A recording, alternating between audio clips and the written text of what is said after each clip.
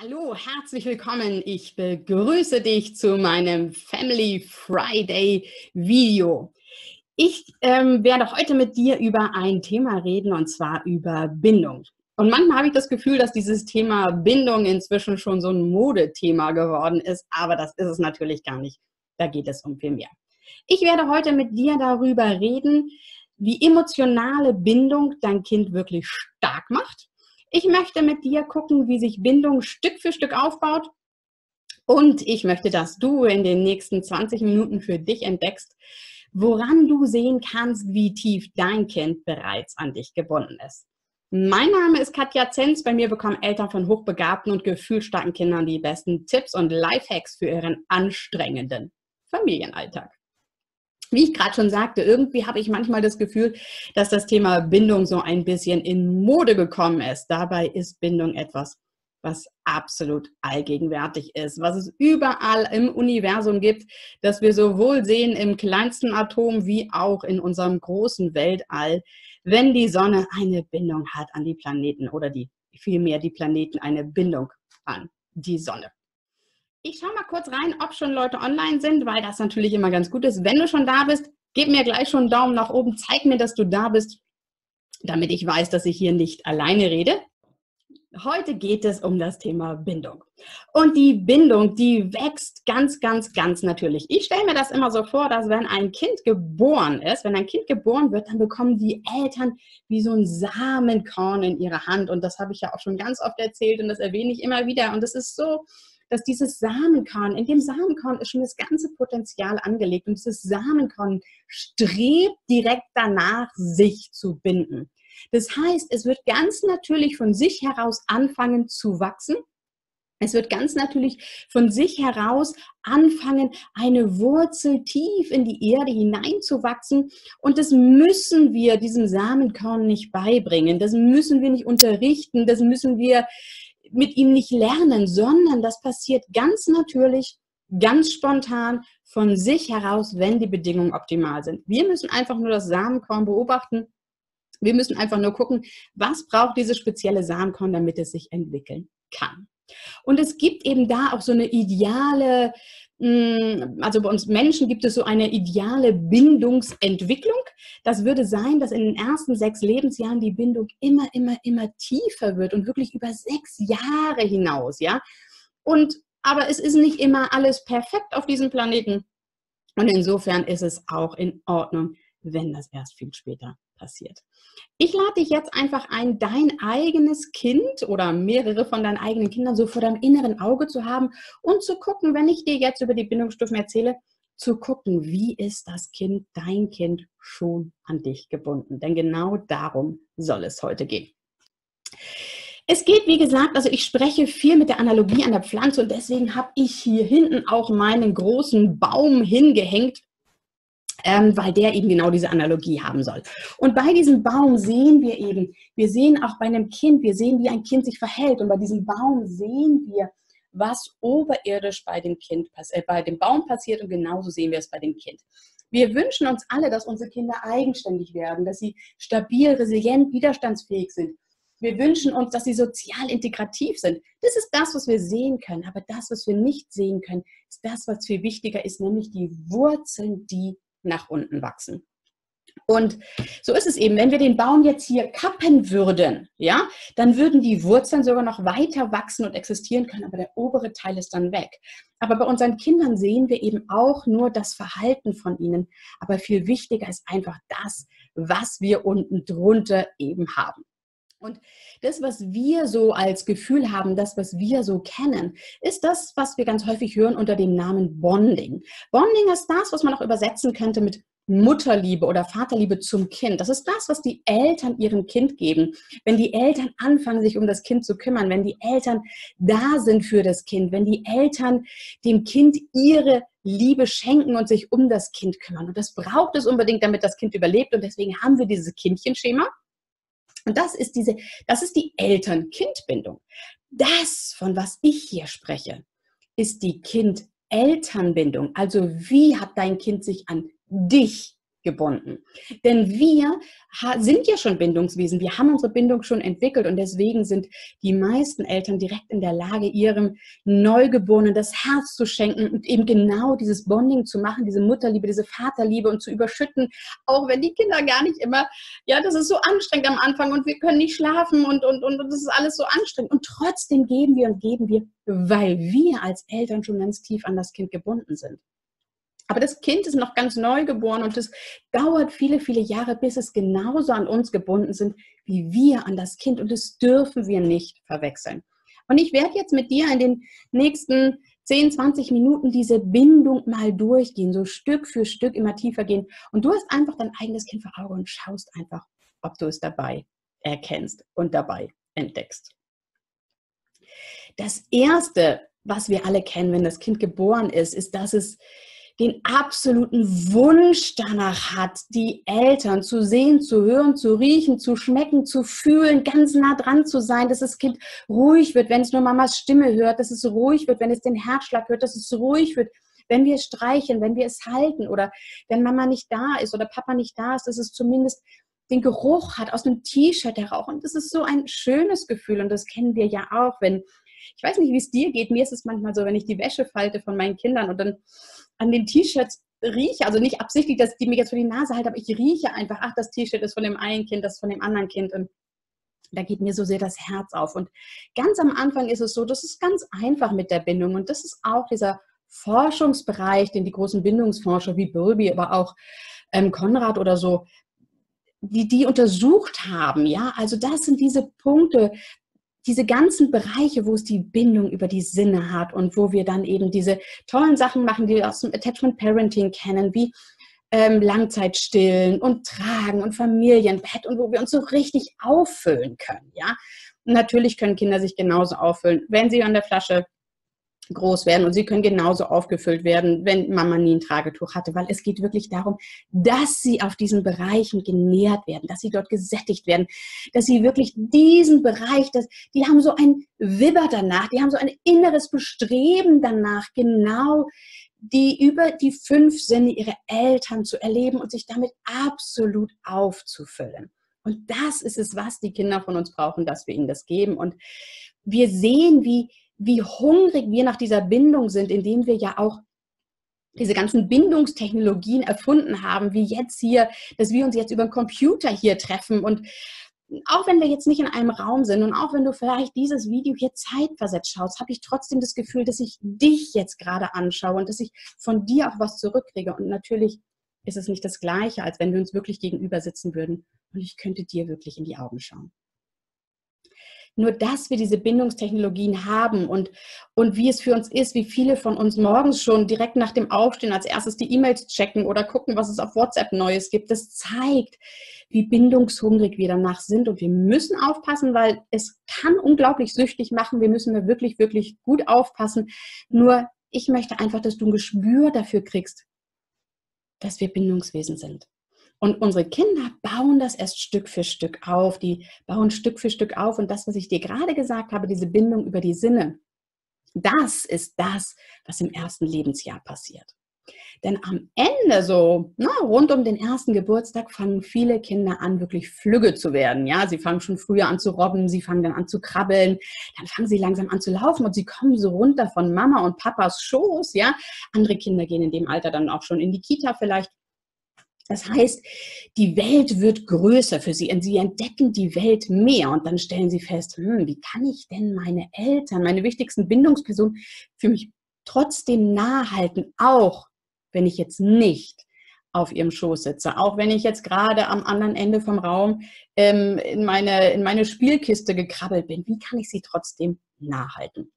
Und da kommt dann eine ganz spannende Idee heraus und das ist, indem sie anfangen, uns nachzumachen. Dann haben sie das Gefühl, okay, ich bin jetzt nicht bei Mama und Papa auf dem Schoß, aber ich mache mich, ich mache genau das Gleiche wie sie. Ich mache die gleichen Töne wie sie, ich mache die gleichen Bewegungen wie sie. Ich verhalte mich gleich wie sie. Und damit entsteht so rund, äh, so im zweiten Lebensjahr diese Bindungsstufe der Gleichheit, wo die Kinder alles gleich machen, wo sie besessen danach sind, die Dinge gleich zu machen. Und da entsteht aus diesen Bewegungsnachmachen entsteht dann eben das Laufen und das Sprechen. Und ich habe das hier auf meinem Baum eben auch. Also hier haben wir die oberste Bindungsstufe. Das ist die Bindungsstufe über die Sinne. Und das ist eine Bindungsstufe, die im Grunde leicht zu erreichen ist. Es ist ganz einfach. Wir brauchen nur nah sein. Wir brauchen nur riechen, hören, schmecken und schon sind wir aneinander. Und jetzt sind wir hier in der zweiten Bindungsstufe in der Gleichheit, ja, wo es eben darum geht, die Dinge gleich zu machen. Und beobachte oder schau mal selber, hab mal vor deinem inneren Auge dann dein eigenes Kind. Entweder ist es gerade in dieser Stufe oder als es in dieser Stufe war, wie es versucht hat, alles gleich zu machen. Und wenn du dann, ja, ich habe ja jetzt hier, aber hier mein Smartphone und ähm, dann machen wir es häufig als Eltern, dass wir den Kindern dann so ein Spielzeug-Smartphone kaufen. Das ist aber nicht das Gleiche. Die wollen ein echtes Smartphone, die wollen wirklich rumwischen und die machen das auch nach. Als ich Kind war, habe ich nie angefangen, auf irgendwelchen Dingen rumzuwischen, weil es das in meiner Welt einfach gar nicht gab. Das heißt, im zweiten Lebensjahr fangen die Kinder an, uns, sich uns nahe zu fühlen, indem sie die Dinge, die wir machen, nachmachen. Und das ist so wunderbar. Und viele hochbegabte Kinder oder einige hochbegabte Kinder, die sehr, sehr früh sind, fangen in dem Alter schon an, natürlich das ABC-Lied zu lernen. Das kriege ich ganz häufig bei hochbegabten Kindern mit, weil die einfach, die machen das nach, die singen die Geräusche nach und aus diesem Lied heraus können sie dann ganz früh schon das Alphabet. Einige fangen auch in dem Alter schon an, die ersten Buchstaben zu erkennen, die Grundfarben zu erkennen. Und das ist bei den Hochbegabten häufig ganz, ganz früh, weil sie schon während der Gleichheit einfach aufsaugen, was da los ist und wenn sie dann die Sprache für sich entdeckt haben, was auch in der Bindungsstufe der Gleichheit ist, dass sie einfach die Geräusche nachmachen, dass sie so sprechen wie wir. Und ja, wenn du ein hochbegabtes Kind zu Hause hast, dann hast du gute Chancen, dass du auch so eine Quasselstruppe zu Hause hast.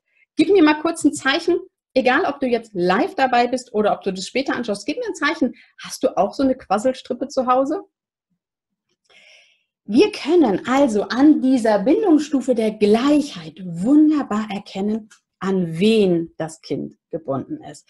Weil an die Person, an die das Kind gebunden ist, das ist die Person, der es gleich machen möchte. Ja? Also wenn jetzt Mama oder Papa in der Küche stehen und kochen, dann will das Kind auch kochen.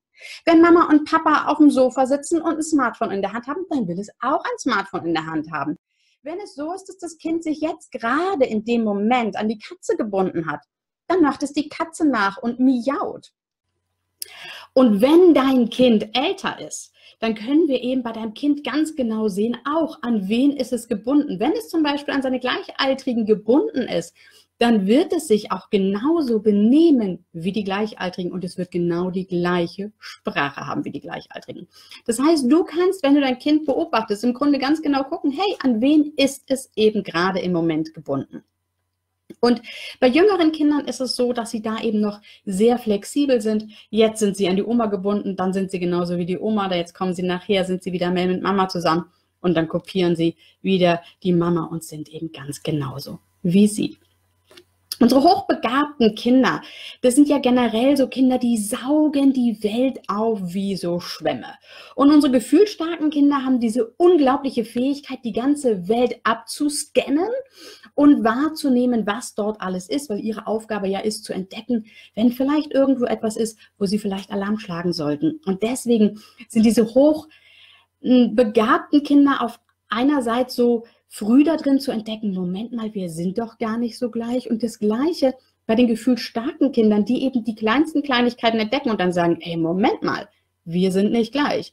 Ich bin klein und du bist groß, ja, du bist vielleicht ein Junge, ich bin ein Mädchen oder wie auch immer, ich bin Kind, du bist erwachsen und dann entdecken sie so ne, rund um das dritte Lebensjahr auf einmal so, hm, wir sind ja gar nicht so gleich. Wir sind gar nicht so gleich. Wir sind eigentlich unterschiedlich. Oh Gott, oh Gott, oh Gott. Was halten Mama und Papa denn trotzdem nah? Oder wie kann ich ihnen trotzdem gleich sein, obwohl ich jetzt entdeckt habe, dass ich so unterschiedlich bin? Und wie gesagt, gerade die Hochbegabten, die entdecken ja diese Widersprüche häufig viel, viel, viel jünger, ja. Und, äh, und dann ist es eben so, dass in ihnen dieser große Wunsch aufkommt, dieser Wunsch, uns nah zu sein darüber, dass sie so ein Teil von uns sind. Da sind wir jetzt hier bei dieser Trennungsstufe von der Zugehörigkeit und der Loyalität. Und du siehst, die Stufen werden immer tiefer. Also wir haben erst die oberflächige Stufe. Das ist ganz einfach. Wenn ich mit einem im Raum bin, bin ich gebunden über die Sinne, wenn ich ihn sehe und höre. Selbst wir jetzt miteinander, du hörst mich, du siehst mich, das heißt, wir haben schon eine Bindung über die Sinne. Wenn wir jetzt miteinander feststellen, dass wir Ähnlichkeiten haben, dass wir Gleichheiten haben, sind wir über die Gleichheit gebunden. Jetzt kommen wir zu der Zugehörigkeit und der Loyalität. Und das ist eben, wenn wir eben sagen, hey, wir sind uns gar nicht so gleich. Mit wem bin ich mir denn dennoch loyal? Mit wem stehe ich auf einer Seite? Für wen stehe ich ein? Ja, und das ist so dieses Gefühl, wo die Kinder so dieses Gefühl haben, meine Mama, mein Papa, die gehören mir, die, für die bin ich da. Das sind, ja, und dann nehmen sie sie in den Arm und sagen, und ja, für dich gehe ich durch Himmel und Hölle und für dich tue ich alles. Und das Gefühl wollen sie auch von uns haben. Und gerade viele hochbegabte Kinder sind solche Gerechtigkeitskämpfer und für sie ist Fairness so wichtig, weil sie das einfach so wunderbar sehen. Aber natürlich sind diese Bindungsstufen ja, sind bei jedem Kind gleich, egal ob hochbegabt, ob minderbegabt, ob gefühlt stark, ob gefühlt schwach, ja. Diese Bindung passiert bei jedem und ich finde, das sieht man so häufig in Klassen auch so wunderbar. Wenn die zusammengewürfelt werden, am Anfang sind sie nur mal in der gleichen Klasse. Aber meistens am Ende des Schuljahres ist es schon so, wir aus der 3a, wir stehen füreinander ein. Und da merkt man, wie diese Bindungsstufe der Zugehörigkeit und Loyalität eben gewachsen ist. Und da kannst du bei deinem Kind eben schauen, weil das macht einen riesigen Unterschied, ob dein Kind nur dir die Dinge gleich macht, ob es die Dinge nur nachmacht oder ob es von sich heraus den Wunsch hat, auf deiner Seite zu stehen, ob es von sich heraus den Wunsch hat, es dir recht machen zu wollen. Ja, für dich da sein zu wollen. Wenn du sagst, hey, hm, kannst du an meine Hand gehen, dass das Kind es auch will, ja, dass das Kind es von sich heraus will und das ist genau dieses, die terrible truth, ja, die wollen es uns noch nicht recht machen. Und das kommt dann erst, wenn wir wirklich in dieser Bindungsstufe der Zugehörigkeit und Loyalität sind. Man könnte im Grunde sagen, ein Kind, das nicht zugehörig und loyal ist, das können wir im Grunde gar nicht und überhaupt gar nicht erziehen. Das heißt, da geht überhaupt erst die Erziehung wirklich los, weil das Kind von sich heraus diesen Wunsch haben muss, es uns recht machen zu wollen. Und dann hat die Natur aber einen wunderbaren Trick, das ist nämlich gleich so rund um das vierte Lebensjahr, das Kind entdeckt, oh Gott, ich bin ja eine eigene Person. Und es stürzt in eine unglaublich große Krise im Grunde, weil es auf einmal feststellt, ich bin ja gar nicht fest verwachsen mit Mama und Papa. Ich bin nicht einfach nur ein Fortsatz von dem, sondern ich bin wirklich ein Individuum. Ich bin ein einzigartiger Mensch und bei den Hochbegabten kommt dann häufig schon diese Metakognition, die bei anderen viel später ist, so, ich denke, also bin ich, ja, oder sowas, ja. Und, und für die gefühlsstarken Kinder ist es, ist es eine, eine riesengroße, riesengroße Aufgabe, vor der sie stehen, dass sie auf einmal feststellen, okay, ich bin ein einzigartiger, ich bin ein einzelner Mensch, ja, und oh Gott, wie komme ich damit um? Ja, und dann werden sie häufig noch temperamentvoller. Und was sie jetzt von uns brauchen, ist, dass sie sagen, okay, was halten Mama und Papa denn wirklich nahe? Was halten sie denn wirklich nah bei sich? Obwohl sie von ihnen getrennt sind. Das sind die Dinge, die Mama und Papa richtig wertvoll sind. Und jetzt wollen sie auf einmal von uns Wertschätzung haben. Und ich meine, im Großen und Ganzen, ja, das ist eine lebenslange Suche, dass wir immer danach gucken, dass wir irgendwie bedeutsam sein wollen, dass wir irgendwie stolz drauf sein wollen, was wir sind, ja. Und ich meine, auch hier auf ähm, in den Social Media ist es so viel, ja, dass wir sagen, hey, guck mal, was ich mache und schau mal, weil wir Likes haben und Daumen nach oben und das geht so rund um das vierte Lebensjahr rum, dass die Kinder uns alles zeigen, schau mal, ich habe das hier gemalt und guck mal hier und ist das nicht toll und wie stark ich bin, wie groß ich bin, wie schnell ich laufen kann und dann wollen sie von uns diese ganze Wertschätzung haben. Und da geht es nicht darum, dass sie einfach nur neben uns laufen wollen. Da geht es nicht darum, sondern sie wollen wirklich gesehen werden in ihrer Einzigartigkeit. Und Mama, guck mal und Papa, schau mal, ja. Und dann wollen sie hören, wie wichtig wir ihnen sind. Und dann wollen sie hören, dass wir ihnen erzählen, wie wir sie vermisst haben, bevor sie geboren wurden und was Oma und Opa gesagt haben, als sie endlich geboren waren. Und diese ganzen, dann wollen sie Fotos angucken. Und das ist diese Bindungsstufe rund um das vierte Lebensjahr. Und das kommt so aus den Kindern raus. Und dann müssen wir sie dabei nähern, dann müssen wir sie dabei schätzen. Und das Spannende ist, hier ist immer noch nicht Schluss. Die Bindung geht noch tiefer, noch tiefer. Und du siehst, es ist so viel mehr, es ist so viel mehr als das Bonding, wo wir für das Kind da sind, in der Mutterliebe, in der, in der Vaterliebe. Und es baut sich Stück für Stück auf. Und wir kommen jetzt in der fünften Bindungsstufe, erst in der Bindungsstufe, die im Grunde das ist, was wir als Eltern unserem Kind von Anfang an geben.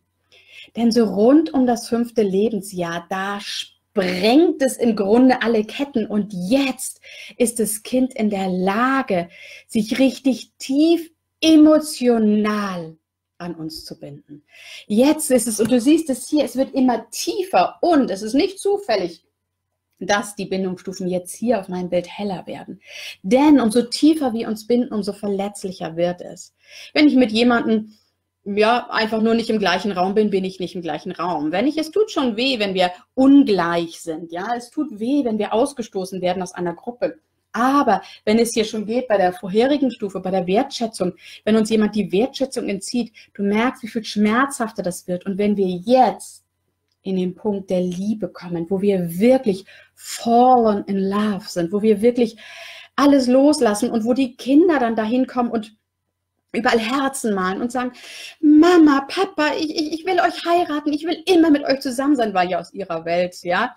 Äh, das ist dann für immer, ja. Und das ist so ein verletzliches Gebiet, jemandem wirklich zu sagen, ich liebe dich. Sie können auch vorher schon sagen, ich liebe dich, aber jetzt fühlen sie es. Und das ist wirklich das Emotionale. Das ist etwas, was, was über Raum und Zeit hinausgeht, was, was allgegenwärtig dann ist. Also ich weiß nicht, wie es für dich ist. Ich habe Verwandte, meine Oma zum Beispiel ist vor vielen Jahren gestorben, aber in meinem Herzen ist sie immer noch bei mir. Und das ist das, was wir als Eltern zumeist von Anfang an zu unseren Kindern haben, dass wir ihnen das Herz schon so geschenkt haben.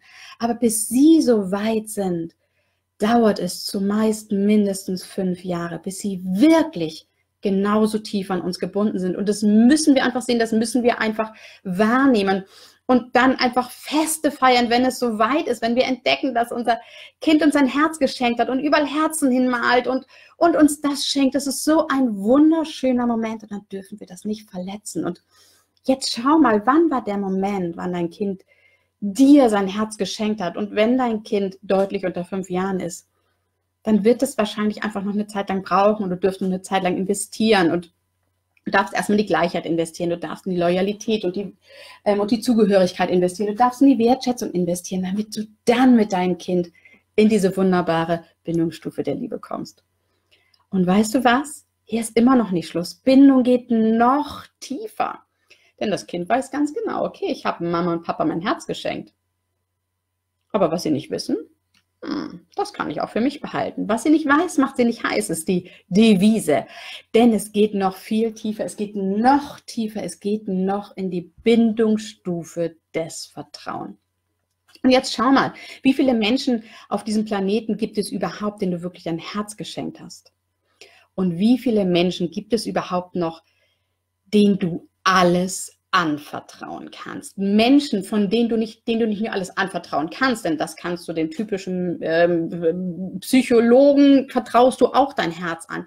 Aber dieses Gefühl, was du innen drin hast, dass du denkst, oh, ich muss es ich muss es ihm, ich muss es ihr unbedingt erzählen. Ja, wenn deine Kinder dahin kommen und auf einmal das Gefühl haben, dass sie ihre Geheimnisse nicht mehr für sich behalten können, dass sie die Geheimnisse mit dir teilen müssen, weil sie sonst das Gefühl haben, es würde euch was trennen. Das sind so unglaubliche Momente und da erfahren wir von den Kindern auf einmal Dinge, wo wir manchmal denken, das wollte ich vielleicht gar nicht unbedingt wissen.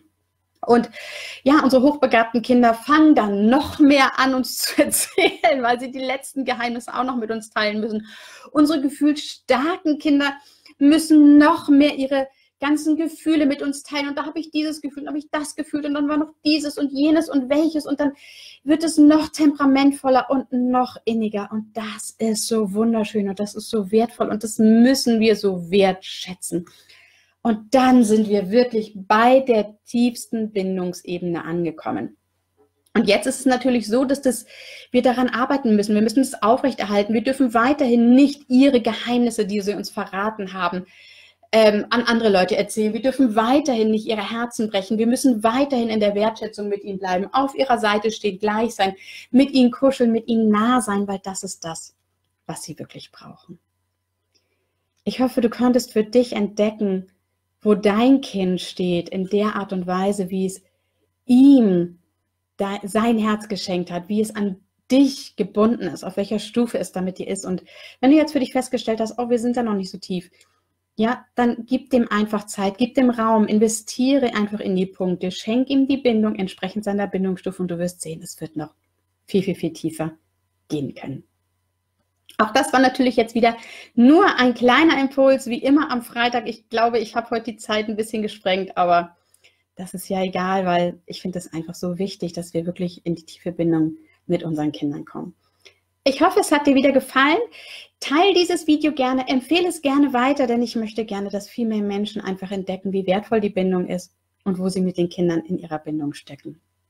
Wenn du für dich das Gefühl hast, so, oh Gott, ich weiß nicht, ich glaube, wir brauchen da Unterstützung, schreib mir gerne eine PN, melde dich gerne bei mir. Wir können uns on- oder offline treffen und ich kann mit dir ganz genau hinschauen, wo dein Kind ist oder was es jetzt brauchen könnte, damit die Bindung bei euch noch weiter vertieft werden kann. Du kannst auch gern warten. Ich werde im Mai meinen nächsten Online-Elternkurs starten. Das wird ein Online-Kurs sein, explizit für Eltern von hochbegabten und gefühlsstarken Kindern, wo ich sie einfach dabei begleite, dass sie einen persönlichen Erziehungsstil kreieren. Auch da kannst du die Augen schon offen halten, wenn du sagst, wow, das wäre was, ich möchte da ganz, ganz, ganz tief einsteigen. Ganz spontan kannst du gerne in meine Gruppe gehen, einfach schlau. Da ist der Link dazu, den gebe ich dir nachher in die Beschreibung und da können wir weiter diskutieren über die ganzen unterschiedlichen Themen. Und ansonsten bekommst du von mir wieder kommenden Freitag den nächsten Einblick in die Themen rund um gefühlsstarke, hochbegabte Kinder und natürlich bei mir immer bindungsbasierte Entwicklungsimpulse. Schreib mir gerne in die Kommentare, wenn du Wünsche hast, wenn du Themen hast, wo du sagst, wow, unbedingt, Katja, darüber musst du mal reden, darüber will ich mehr wissen. Dann freue ich mich, wenn du mir schreibst. Ich wünsche dir jetzt ein schönes Wochenende und mach's gut. Bis bald. Ciao!